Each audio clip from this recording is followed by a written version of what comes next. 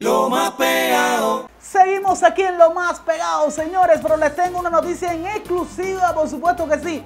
Ahora, para poder ingresar a la banca móvil del Banco de Guayaquil, no será necesario, señores, ingresar clave. Los usuarios podrán hacerlo de manera rápida y segura con el nuevo sistema de reconocimiento facial. Asimismo, señores, podrás entrar al Banco de Guayaquil por tu cara. ¿Ah, no me creen? Miren esta entrevista en exclusiva. Lo más pegado.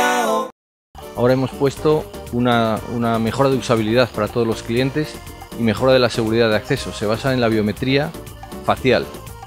Una biometría que garantiza que prácticamente todos los teléfonos smartphone del mercado van a poder entrar a la aplicación utilizando un sistema de validación de la cara de la persona que está haciendo el, el logón.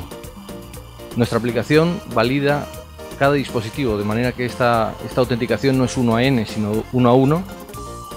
Y, el, y el una vez conseguido el acceso, tienes todas las opciones de la banca virtual tradicional.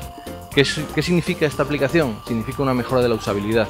El cliente en menos de un segundo va a tener acceso garantizado, puesto que solo él puede acceder con su cara. Es de alguna manera entrar al Banco Guayaquil por la cara.